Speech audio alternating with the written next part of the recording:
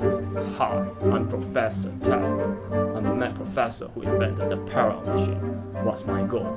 Observing trainers from the universe and learn the true meaning of Pokemon battle. In this episode, Ash Ketchum shall be battling Gary Oak, so who will win this Pokemon battle?